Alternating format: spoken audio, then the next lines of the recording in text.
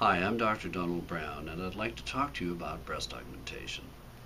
Breast augmentation is one of the more common procedures we do in plastic surgery. But before I do that, I'd like to define a very important term, and that is ptosis. Ptosis is defined as a situation in which the breast nipple lies below the inframammary crease. The inframammary crease is that line which is formed where the breast meets the chest wall. Now the reason this is important is that if you, if you augment a ptotic breast, you will end up with a very unesthetic appealing breast. This can be best corrected by a mastopexy or breast lift, which will be the subject of a different video.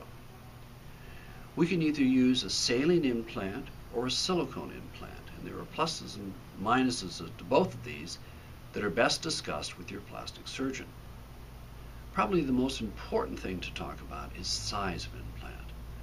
What I have found to be a very effective way to determine this is to have the patient wear a bra of the size they'd like to be. We then insert various size implants to determine what size is going to work best for her. These implants are placed beneath the breast utilizing a number of different incisions. We can make an incision under the arm in the axilla.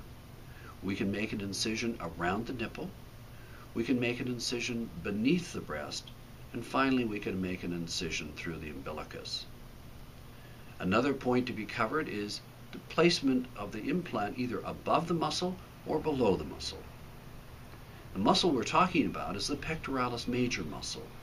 You can feel this on yourself by putting your hand on your hip and pressing down. That muscle that you feel contracting is the pectoralis major.